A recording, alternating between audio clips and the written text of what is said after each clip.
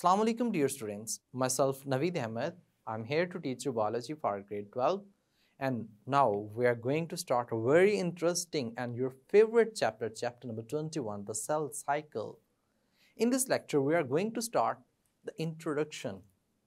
Introduction मतलब ये है कि cell cycle होता क्या है सेल साइकिल में कौन कौन से फेजेस शामिल होते हैं और इसमें इम्पॉर्टेंट शॉर्ट क्वेश्चन जो हैं वो किस तरह से हैं और कौन कौन से एम इसमें बन सकते हैं? सो so, चलते हैं लेक्चर की तरफ़। Dear students we are going to discuss cell cycle अब आप ये बात जानते हैं कि चैप्टर 21 जो है इसमें से सिर्फ़ और सिर्फ़ शॉर्ट क्वेश्चंस आते हैं जो कि सेल साइकिल है। यानी कि इस पूरे चैप्टर में से सिर्फ़ शॉर्ट क्वेश्चन ही पूछे जाएँगे। हम इसका इंट्रोडक्शन करेंगे। इंट्रोडक्शन कि सेल साइकिल कैसे होता है, किस तरह से है, इसमें कौन कौन से फेजेस हैं और उन फेजेस को हमने फर्दर कैसे डिफाइन किया है कौन कौन से फेजेस हैं। अब देखिए, सबसे पहले हम डिफाइन कर लेते हैं कि सेल साइकिल होता क्या है। बेटा सेल साइकिल में तीन चीज़ें होती हैं। सबसे पहला फ़ेज़ जो है, वो है ग्रोथ ऑफ़ सेल यानी कि सेल ग्रो करेगा। सेल जब ग्रो कर जाएगा, उसके अंदर डीएनए रेप्लिकेशन होगी। यानी कि हम दूसरा स्टेप जो कहेंगे, वो कौन सा है? डीएनए रेप्लिकेशन यानी कि डीएनए जो है, वो उसका डुप्लीकेट होगा। डीएनए रेप्लिकेशन होने के बाद सेल जो है, वो डिवाइड हो जाएगा। मतलब सेल डिवीज़न हो जाएगी। अब ये तीन प्रोसीजर जो हैं वो बार बार हम कहते हैं रिपीट होते रहते हैं। मिसाल के तौर पर हमने ये कहा कि cell cycle involve growth of the cell growth of cell के बाद डीएनए रेप्लिकेशन डीएनए रेप्लिकेशन के बाद डिवीज़न ऑफ़ द सेल तो ये साइकिल जो है वो चलता रहता है। ये जो साइक्लिक एक्टिविटी इसमें चल रही है, इसी को हमने सेल साइकिल के नाम से मेंशन किया है। अगर कोई आपसे ये कहता है डिफाइन सेल साइकिल तो आप उसे बता सकते हैं कि it involves the growth of the cell यानी कि एक फ़ेज़ ऐसा है जिसमें वो ग्रो करेगा डीएनए रेप्लिकेशन और उसके बाद फिर सेल अपने आप को डिवाइड करता है। तो ये साइक्लिक एक्टिविटी जो है, ये क्या कहलाती है? सेल साइकिल कहलाती है। हम सेल साइकिल एक, वैसे तो ये कंटिन्यूस प्रोसेस होता है। हम अपनी आसानी के लिए इसे टू फेजेस में डिवाइड कर लेते हैं। यानी कि इसके टू फेजेस जो हैं, वो हम बना लेते हैं सेल साइकिल के। टू फेजेस जो हैं, एक हमने कहा कि एक डिवाइडिंग फ़ेज़ होगा और एक अपेरेंट नॉन डिवाइडिंग फ़ेज़ होगा।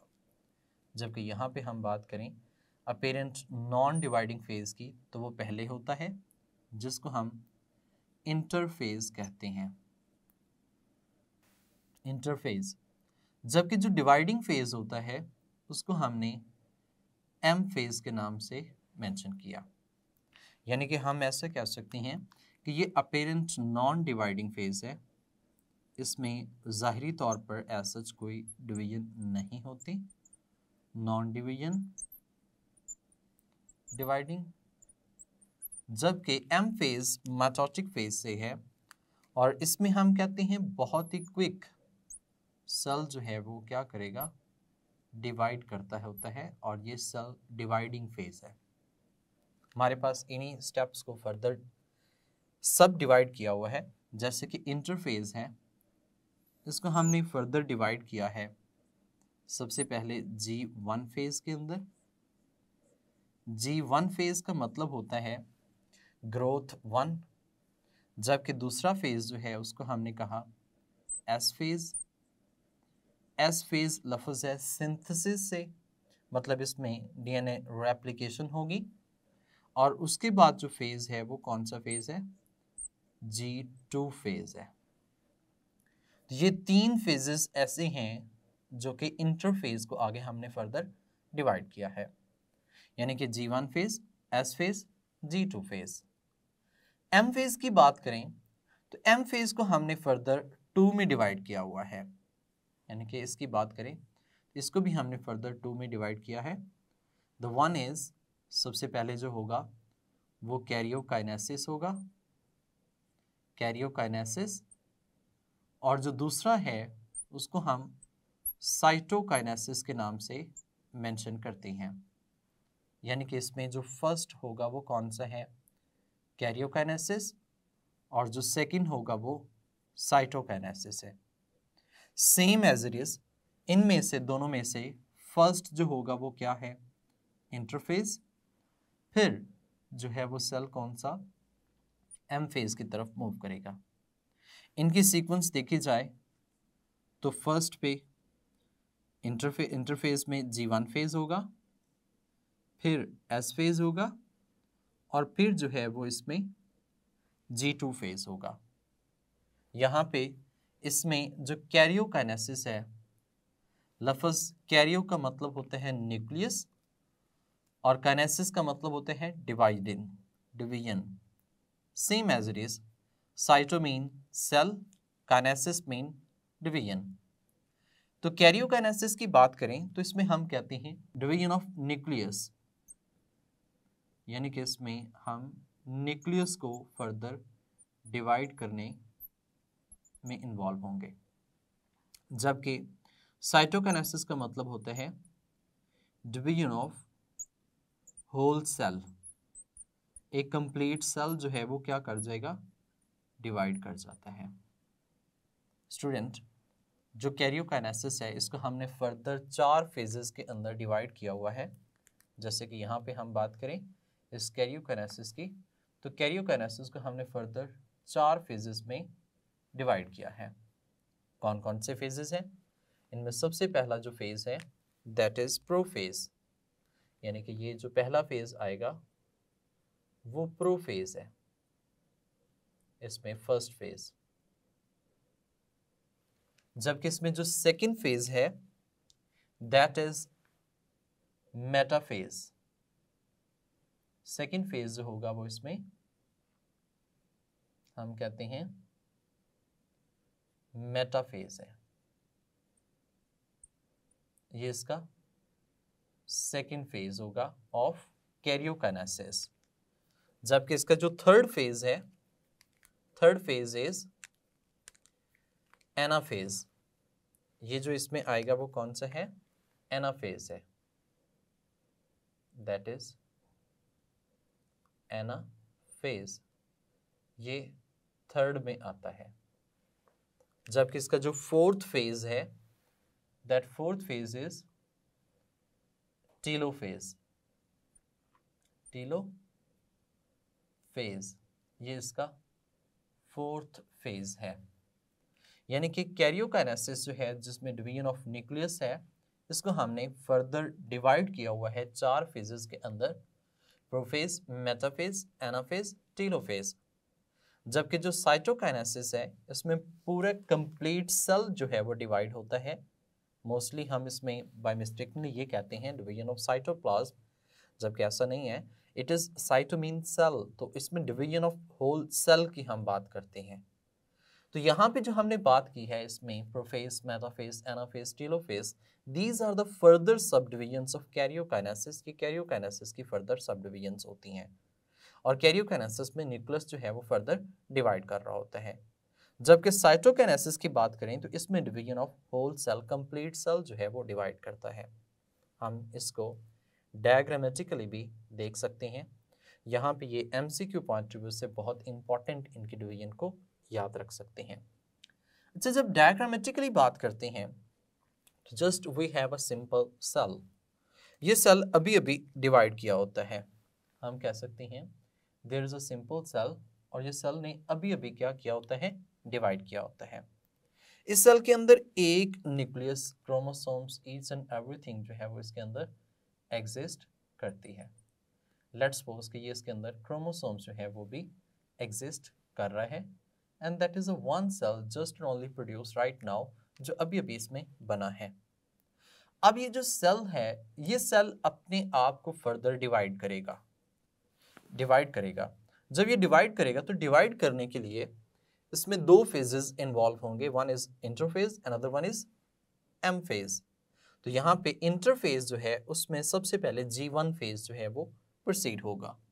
और you know that G one phase में ये सेल अपने साइज़ को इंक्रीज करता है, अपने कंपोनेंट्स बनाता है, इसके अंदर फर्दर चेंजेस आती हैं। तो यहाँ से that is converted into next type of यानी कि नेक्स्ट इसमें जो चेंजेस आती हैं, ये अपने कंपोनेंट्स जो हैं, उनको सिंथेसाइज कर रहा होता है। लेकिन स्टिल हम बात करें तो इसके अंदर क्रोमोसोम एज इट इज़ मौजूद है। यानी कि जो क्रोमोसोम इसके अंदर एग्जिस्ट कर रहा था, वो वैसे का वैसे ही मौजूद है। लेकिन ये जो फ़ेज़ हमने काउंट किया है that is G one phase ये जी वन फ़ेज़ है हमारे पास। But you know that some time cell अपने आप को कंप्लीटली डिवाइड नहीं करना चाहता। कंप्लीटली क्या? डिवाइड ही नहीं करना चाहता। नॉन डिवाइडिंग फ़ेज़ में चला जाता है। सो so, वो मिचोर तो होता है बड़ा तो होता है लेकिन यहाँ से वो नॉन डिवाइडिंग फ़ेज़ में एंटर हो जाते हैं। And that non dividing phase जो यहाँ से एंटर होगा that will be non as G not phase उस फ़ेज़ को हम जी नॉट फ़ेज़ के नाम से मेंशन करते हैं। जी नॉट हम जी ज़ीरो के पॉइंट ऑफ़ व्यू से कह सकते हैं, क्योंकि इसमें ये नॉन डिवाइडिंग फ़ेज़ है। इसमें सेल अपने आप को डिवाइड नहीं करता। सेल ये डिसाइड कर लेता है कि उसने डिवीज़न नहीं करनी। नॉन डिवाइडिंग में चला जाता है। या फिर आप ऐसे भी कह सकते हैं that will come in resting position rest की हालत में चला जाता है। आप ऐसे भी कह सकते हैं कि ये डिवाइड ही नहीं करता। यानी कि अब उसने डिसाइड किया कि इट विल नॉट डिवाइड लेकिन जब भी वो डिसाइड करेगा दोबारा कि उसने डिवाइड करना है तो it will come again into G one phase ये दोबारा किस फ़ेज़ में आएगा? जी वन फ़ेज़ में. यानी कि सेल सेल साइकिल से बाहर जाएगा अभी तो जी वन फ़ेज़ से बाहर जाएगा और वापस आएगा भी तो कहाँ पे आएगा? जी वन फ़ेज़ के अंदर ही आएगा और ये प्रोसीजर यहाँ से आगे अगेन स्टार्ट हो जाएगा. अब ये बात आप जानते हैं कि जी वन फ़ेज़ जो यहाँ पे हमने किया इसमें ग्रोथ फ़र्स्ट हुई है। यहाँ से सेल जो है, वो एंटर होगा जी नॉट में और यहीं पर आकर क्या होगा? वापस एंटर होगा। यहीं से वो जी नॉट फ़ेज़ में जाएगा which is not the part of interphase जो कि इंटरफेस का पार्ट नहीं है, जो कि हम कहते हैं रेस्ट की हालत में चला जाता है या फिर हम ऐसे कह सकते हैं इट विल बिकम डॉर्मेंट या फिर अपनी फर्दर मेच्योर होकर अपना फ़ंक्शन परफॉर्म करना शुरू कर देता है। इसमें एग्जांपल्स हैं, जैसे आई लेंस आई लेंस है किडनी सेल्स हैं लिवर सेल्स हैं, ये वंस मेच्योर आगे फर्दर डिवाइड नहीं करते रेस्ट की हालत में चले जाते हैं। सो ये सिचुएशन जो है वो जी नॉट फ़ेज़ में आ जाती है। फर्दर हम देखें तो यहाँ से एस फ़ेज़ होगा आगे। और you know that S phase जो है, उसके अंदर क्या होगा? डुप्लीकेशन ऑफ़ क्रोमोसोम्स जो है, वो होती है। तो जैसे ही ये एस फ़ेज़ में मूव करेगा तो यहाँ से ये enter into another phase cell जो है, वो एस फ़ेज़ में आएगा। और एस फ़ेज़ में जैसे ही आता है तो इसमें हम कहते हैं डुप्लीकेशन ऑफ़ क्रोमोसोम होगी। क्रोमोसोम जो हैं, वो अपने आप को डुप्लीकेट करते हैं। आप ऐसे भी कह सकते हैं रेप्लिकेशन ऑफ़ क्रोमोसोम जो है वो होती है। क्रोमोसोम जो यहाँ पे एक था, अब इसका एग्जैक्ट रेप्लिका बन जाएगा और वह exact replica is of one chromosome ये एक क्रोमोसोम जो है वो कंसीडर होगा। ये एक इस तरह से मौजूद है पार्ट और एक जो है वो इसके साथ जो है वो और डेवलप हो जाएगा लाइक दिस वन एक इसके साथ ऐसे जो है वो डेवलप हो जाएगा। अब देखिए, यहाँ पे एक क्रोमोसोम था। यहाँ पे भी है एक ही लेकिन उसमें क्रोमेटेड का नंबर जो है वो टू हो चुका है। यानी कि here two chromatid are present are you can say that there is a duplication of chromosomes and the other name of duplication is you can say that it is a replication of the chromosomes ये chromosomes की क्या होती है? Replication होती है। And the one chromatid will added, एक chromatid जो है इसमें added हो जाएगा, which is exact replica of the chromosome जो कि chromosomes की बिल्कुल exact replication होती है। Did you understand the point? मतलब कि इसमें जीवन फ़ेज़ के बाद दूसरा फ़ेज़ कौन सा है? एस फ़ेज़ एस फ़ेज़ के बाद नेक्स्ट फ़ेज़ जो आएगा वो कौन सा है? जी टू फ़ेज़ आएगा। और G two phase little bit हम कहते हैं शॉर्ट सा होता है, उसके बाद फिर ये एम फ़ेज़ की तरफ़ जो है वो मूव करेगा। तो यहाँ से आगे ये किसकी तरफ़ मूव करेगा? जी टू फ़ेज़ की तरफ़ मूव करेगा। And you know that G two phase में जैसे ही जाएगा तो ये क्रोमोसोम्स आगे एम फ़ेज़ की तरफ़ जो है वो एंटर होना स्टार्ट हो जाते हैं। जैसे कि हमने यहाँ पे बात की कि पहले जो है वो जी वन फ़ेज़ फिर उसमें क्या आएगा G S two S S phase उसके बाद फिर लास्ट में जो आएगा, वो क्या है? जी टू फ़ेज़ और जी टू फ़ेज़ को कंप्लीट होने के बाद जो नेक्स्ट स्टार्ट होगा, वो कौन सा है? एम फ़ेज़ स्टार्ट होगा। एम फ़ेज़ में you can understand that is that is the G two phase ये जो फ़ेज़ है वो जी टू फ़ेज़ है, जिसमें अगेन इसकी ग्रोथ होती है।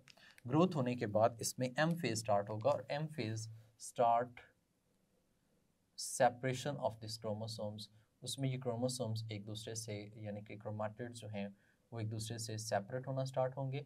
अल्टीमेटली हम ऐसा कह सकते हैं कि वन सेल जो है that is going to be divided ये फर्दर डिवाइड होने जा रहा होता है।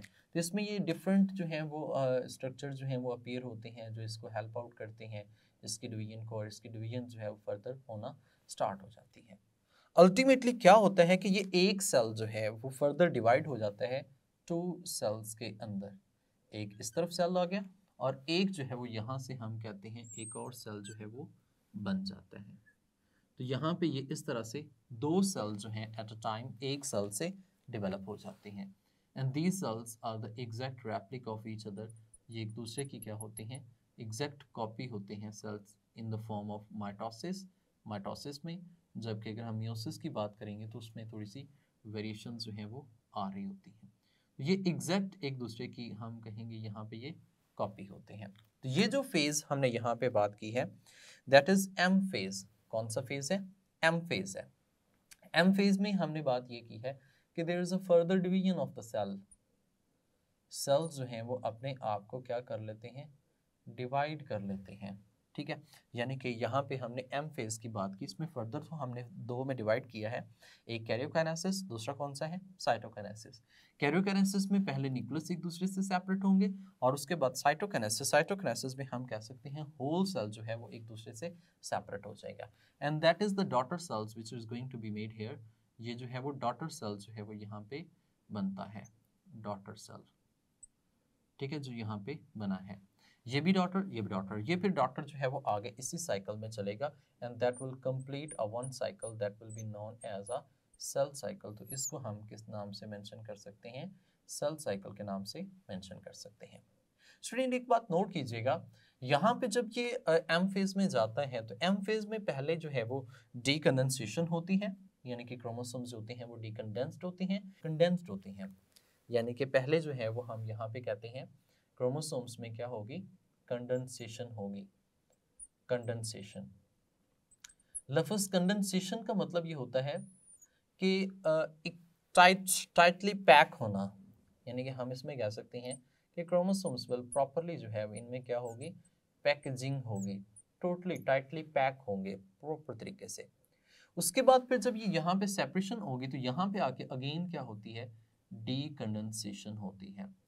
डीकंडेंसेशन का प्रोसेस जो है वो हो रहा होता है। स्टूडेंट्स यू नो दैट कि डी डीकंडेंसेशन का मतलब होता है अनपैकिंग होना मतलब कि उनको अगेन दोबारा इजी करना इसे लूजली पैक करना लूजली टाइटली कॉइल्ड करना, ये डीकंडेंसेशन का प्रोसेस होता है। यू नो दैट यहाँ पे एक प्रोसेस ये भी हो रहा होता है कि न्यूक्लियस जो होता है वो ब्रोकन डाउन हो रहा होता है। यानी कि अगर मैं इस पॉइंट ऑफ़ व्यू से कहूँ इसके अंदर तो प्रोफेज जो है, इसमें क्या होता है? कंडेंसेशन होती है और जो टीलो फ़ेज़ है, इसमें क्या होती है? डी कंडेंसेशन का प्रोसेस होता है। अगर मैं ऐसा भी कहूँ कि जो प्रोफेज है, इसके अंदर properly nuclear envelope broken down होता है और टीलो फ़ेज़ जो है, इसमें न्यूक्लियर इन्वेलप दोबारा बन जाता है। मतलब सिंपल ये बात कह सकते हैं कि एक सेल डिवाइड हो जाता है और दो सेल्स में कन्वर्ट हो जाता है। In the case of meiosis हम ये बात कर रहे होते हैं। और यहाँ पे ये जो हम टर्म ले रहे हैं एम एम का मतलब ही क्या है? माइटोटिक डिवीज़न माइटोटिक फ़ेज़ इसको हम माइटोटिक फ़ेज़ कह सकते हैं। और माइटोटिक फ़ेज़ जो होता है, ये क्विकली जो होता है, वो फर्दर क्या हो जाता है? डिवाइड हो जाता है। आप ऐसे कह सकते हैं टोटल टाइम का just only ten percent of total time जो है, ten percent of total time जो है, वो कौन लेता है? माइटोटिक फ़ेज़ लेता है in the case of mitosis, जबकि 90 percent of the total time जो है that is taken by the interphase हम इंटरफेस की बात करें तो that will take 90 percent of the total time of total time. तो टोटल टाइम हम कह सकते हैं कि 90 परसेंट जो है, वो कौन ले रहा होता है? इंटरफेस जो है वो ले रहा है। अब यहाँ पे हमने इसको ब्रीफली सा डिस्कस किया है कि सेल साइकिल किस सेंस में आता है। यानी कि सेल साइकिल की बात करें तो ये है, अब इसमें दो इंपॉर्टेंट शॉर्ट क्वेश्चन बनते हैं। एक तो शॉर्ट क्वेश्चन ये बन सकता है कि डिफाइन सेल सेल क्या होता है सेल साइकिल किस तरह से है, उसमें कौन कौन से इवेंट्स होते हैं एमसीक्यू पॉइंट ऑफ़ व्यू से, जैसे कि अल्फ़ा बीटा चार्ली डेल्टा हो डेल्टा में ऑल ऑफ़ दीज हो तो पूछा जाए कि which steps involve in the cell cycle तो answer is all of these steps are involve in the cell cycle तो इसी में ये कहा जाए डिफाइन सेल साइकिल तो you can say that the growth of the cell cycle involves the growth of the cell in which the DNA replication and cell division occur, that is known as cell cycle. It is further divided into two phases etc आगे इसमें explain कर सकते हैं। ये भी sometime question आता है draw and label the cell cycle आपने ड्रॉ करना है और लेबल करना है और सेल साइकिल को एक्सप्लेन करना है कि किस तरह से कौन कौन से स्टेप्स जो हैं वो इसमें प्रोसीड हो रहे होते हैं। जबकि एम सी क्यू पाँच से ये पूछा जा सकता है कि इंटरफेज को फर्दर हम किसमें डिवाइड करते हैं और इसमें ये जो फ़ेज़ है, क्या इसमें इंक्लूडेड है या नहीं है? Same as this M phase को हमने फर्दर डिवाइड किया, कैसे इसको फर्दर डिवाइड किया हुआ है? इस तरह से ये सारी एम सी क्यूज़ के पॉइंट ऑफ़ व्यू से भी हो सकते हैं। डियर स्टूडेंट्स उम्मीद करता हूँ कि आपने सेल साइकिल के कॉन्सेप्ट को समझा होगा। मतलब ये है कि सेल साइकिल को हमने टू फेजेस में डिवाइड किया। The one is interphase and the other one is M phase mitotic phase अब ये जो फेजेस हैं, इनको हम फर्दर डिस्कस करेंगे कि किस तरह से इनमें चेंजेस आती हैं। लाइक दैट इंटरफेज है तो इंटरफेज में ये फेजेस में कौन कौन से इवेंट्स पॉसिबल हो सकते हैं? कौन कौन सी चीज़ें हैं जो कहाँ कहाँ पे किस फ़ेज़ के अंदर डेवलप होती हैं? तो इन तमाम को हम इन नेक्स्ट लेक्चर में डिस्कस करेंगे। तब तक के लिए अपना ख्याल रखिएगा। मुझे इजाज़त दें। अल्लाह हाफिज़।